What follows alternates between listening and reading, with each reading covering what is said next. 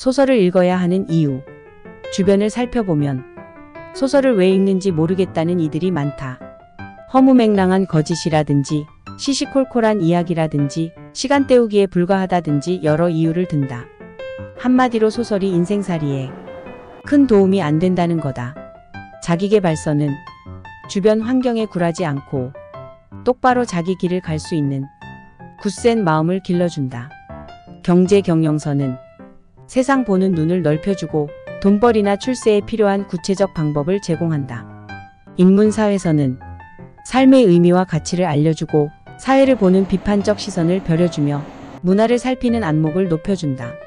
이런 책들을 읽으면 확실히 지식과 교양이 부풀고 삶의 선연한 길잡이를 얻는 듯한 기분이 든다. 경제 경영서나 자기계발서처럼 명확한 지침과 권유와 명령으로 이루어진 책이나 인문사 회서처럼 엄밀한 개념과 논리로 짜인 책에 비하면 허구 세계인 소설은 쉽게 그 효용을 알 수 없다. 있는 그대로 삶을 펼쳐내 보여줄 뿐 무엇도 내세워 말하지 않기 때문이다. 따라서 독자가 질문을 던지고 자기 삶을 섞어 넣는 상상력을 발휘하지 않으면 소설에서 무얼 얻긴 힘들다. 반면에 절실한 질문이 있는 사람, 타자와 공명할 삶의 재료가 풍부한 사람들은 소설에서 많은 걸 얻는다.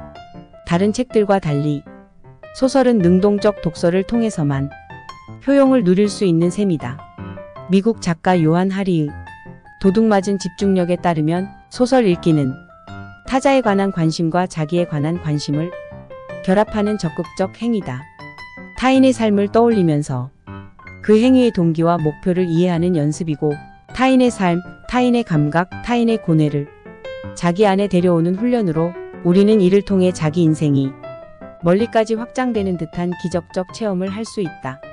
또한 소설 읽기를 통해 우리는 다양한 환경에서 인간이 어떻게 사는지를 공감하고 이해하는 인지적 유연성을 기르고 어휘력과 언어 능력을 끌어올려 삶을 신선하고 세련되게 바라보고 표현하는 법을 깨달을 수 있다. 흥미롭게도 소설을 많이 읽는 사람은 오래 산다.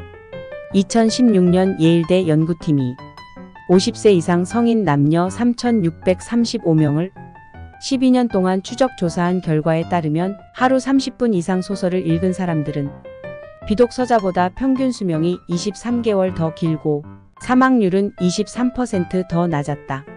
소설의 수명 연장 효과는 다른 책 독서보다 더 확연했다. 타자에 대한 높은 공감 능력이 가져다주는 좋은 인간관계가 장수의 비결이기 때문일 것이다. 좋은 이야기가 좋은 삶을 낳는다. 건강한 삶을 위해 주말엔 소설 한 편을 골라 읽어보면 어떨까 싶다.